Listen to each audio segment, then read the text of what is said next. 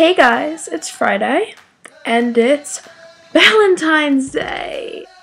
So, today is basically made up of people hating the world, being in love, and people that really don't care. And I'm one of the people that really don't care. So, basically, I made this video for single people that have no idea what to do on Valentine's Day. So, here's just a couple ideas on things you could do. Numero uno. Go shopping.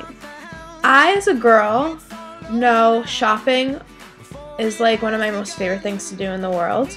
And if you're a guy, I mean, you're buying yourself things and realizing you don't have to buy it for anyone else. Like, what's better than that? Number two.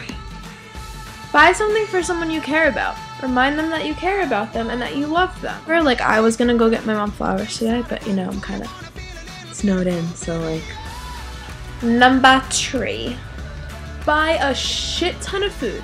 Whether by yourself, with friends, with someone, buy a shit ton of food, preferably Domino's, because like, Domino's, and just have fun and eat whatever you want because you're a strong, independent black woman who don't need no man.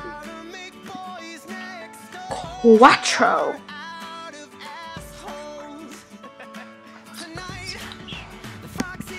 Guys, have a guy night. Girls, have a girl night. Balls. Watch a bunch of movies, okay? Literally, movie marathons are one of the greatest things ever. If you don't want to watch anything romantic, there's White Chicks, Mean Girls, Norbit, Step Brothers, Grown Ups, anything with Adam Sandler. Literally, there's so many funny movies. So, my message for this video is appreciate the people in your life now. Just because you don't have a supermodel girlfriend or a rich boyfriend or vice versa does not mean you can't be happy. One day of the year should not ruin your self esteem or confidence. That's not right. And honestly, if you're in a relationship, you should treat your girlfriend or boyfriend good every single day, not just one day in the year.